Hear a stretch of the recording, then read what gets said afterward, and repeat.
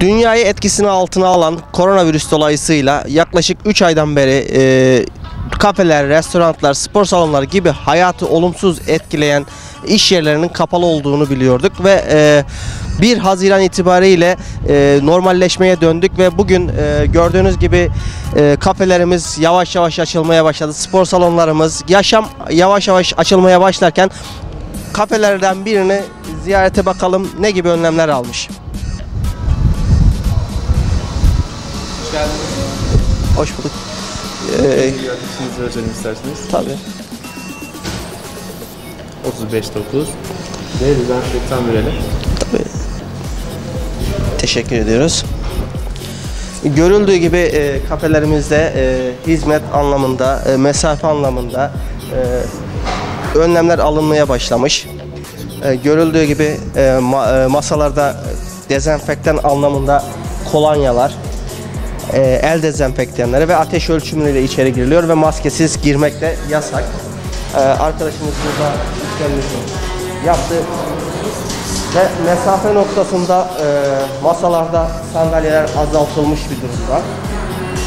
Normalleşmeye başlarken e, buralarda tabii ki önlemler devam ediyor. Fiziki teması koruyalım, sosyal mesafeyi koruyalım gibi özel önlemler alınmış durumda.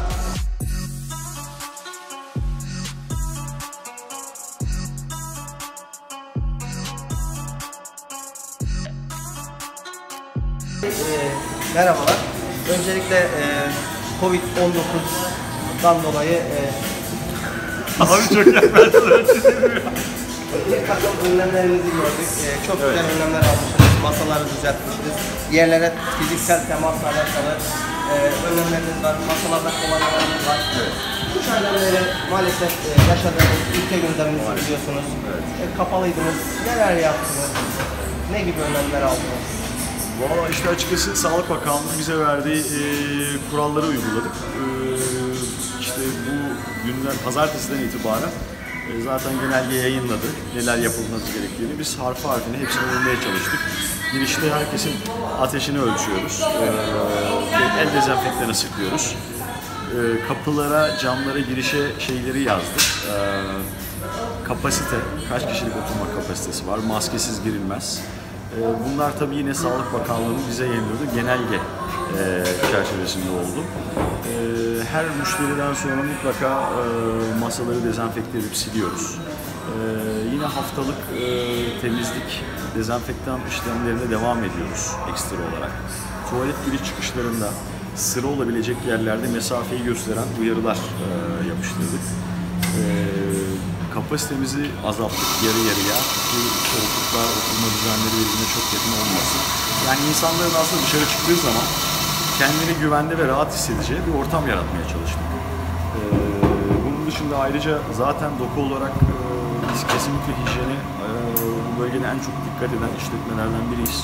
Bizim kırmızı çizgimizdir.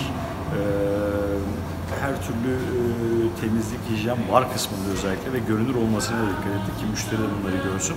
E, buna zaten yaptığımız bir şey aynı şekilde bu hijyene e, dikkat ederek de devam ediyoruz. Ayrıca Sağlık Bakanlığı yine en son yayınladığı genelgede tuvalet giriş çıkışlarında temizlik saatleri, temizlik e, çizelgesi olması gerekiyordu. Yine bunu da zaten yapıyorduk. Aynı şekilde buna da devam ediyoruz. Ee, özetlemek gerekirse e, Sağlık Bakanlığı'nın yayınladığı zaten şu anda en iyi uygulamayı bilen ve e, yaptırım yapacaklar, en iyi şekilde bize anlatan yine Sağlık Bakanlığı. Biz harfiyen e, onların dediklerinin hepsini e, uygulamaya çalıştık. E, fazlası geliyorsa elimizden onları da yapmaya çalıştık. İşte şeritleri falan da e, ihmal etmedik ki çok e, kargaşa olmasın o zamanlarda. Giriş çıkış yolları belli olsun. E, her masada e, mutlaka bir kolonya el dezenfektanı bulundurulması gerekiyor. Bunu da bu şekilde e, organize ettik. Genel itibariyle e, bunlar. Efendim e, DOKA e, normalde tedbirlerini almış, önlemlerini almış. Evet. Peki bunun 3 aylık ekonomik sıkıntılar yaşadınız. Evet. Bunlara ne gibi önlem aldınız veya devletten herhangi bir destek alabildiniz mi? Tabii ki e, tüm çalışanların e, işte kısa çalışma ödenekleri e, devlet tarafından karşılandı. Mağdur edilmedi çalışanlar. E, onun dışında işletme olarak da e, kapalıydık. E, biz kendi birikimimizle e, işletme bünyesinde e, bir şekilde döndürmeye, idare etmeye çalıştık. Tabii ki herkes zorlanıyor ama bu sadece Türkiye'de değil, tüm dünyada artık herkesin e, sıkıntılı dönemleri. Ama çalışanların en azından kısa çalışma ödeneklerinin ödenmesi, onların mağdur edilmemesi bizim en büyük sevincimiz oldu. Peki şu anda biz her zaman deriz artık eskiden şey eskisi gibi olmayacak. Mesela maskeye alıştık. Evet. E, peki oturma şeklimizde herhangi bir değişiklik olacak mı? Veyahut iş yerine giriş e, sayısımız, belirli bir sayımız var mı? Tabii ki e, az önce bahsettiğim gibi zaten kapasitemizi biz e, neredeyse yarı yarıya düşürdük. Sandalye sayılarını azalttık, masa sayılarını azalttık. E, işte masada eskiden genelde her bir masada 5-6 sandalye olurken işte bunları 2'ye maksimum 3'e çıkarmaya çalıştık. Ama grup geldiği zaman e, verilen kanun şeyi aynı aileden olduğu zaman iki masayı birleştirip yapıyoruz. Oturma düzeni değişti içeride de dışarıda da. E, içeride özellikle yine sandalye ve masa sayılarını azalttık. Artı bir e, üç gruba ayırdık. Sağ, orta, sol diye. Bunların birbiriyle karışmamasına özen gösteriyoruz. Zaten yine genelge gereği kalabalık masalar, masanın yan tarafına oturması yasak. Karşılıklı oturma düzeni olacak. Aynı aileden hariç, aynı aileden söz veriliyor. Ee, büyük grupları zaten e, ayırmaya çalışıyoruz o şekilde yani kalabalık oturmayın diye. Ama insanlar da zaten hala bu sürece alışması da bizim olacak. Yani tedirgin. Dolayısıyla zaten çok kalabalık gruplarda e, çok görmüyoruz e, kafelerde. E, dolayısıyla şun, şimdiye kadar e, memnunuz. Müşteri de memnun, biz de memnunuz. E, dediğimiz gibi en önemli şey insanların kendini tedirgin hissetmeyeceği, güvende hissedeceği bir ortamda olmak. Yani çok kalabalık değil ama daha nezih, daha ferah, e, hijyenin, hijyenin tam sağlandığını bildiği bir ortamda. E, tuvalette olsun, var kısmında olsun, oturma alanlarında olsun. Bunu sağlamak.